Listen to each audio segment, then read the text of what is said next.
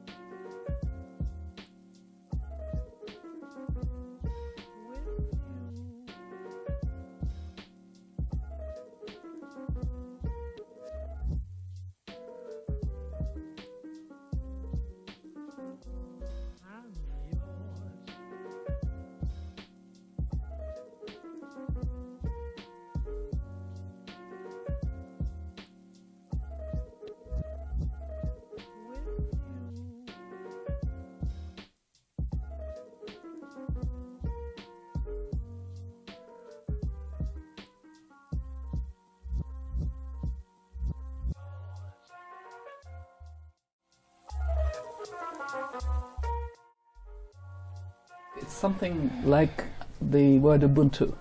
I am because you are. Um, it's that connection between us that is part of our human potential, but then we also have to think of the other species that we share this world with, and indeed the future of the world. Um, but it is that sense of the connection between us. Um, uh, th there is an Irish way of saying it. Um, a? It is in each other's shadow that we flourish.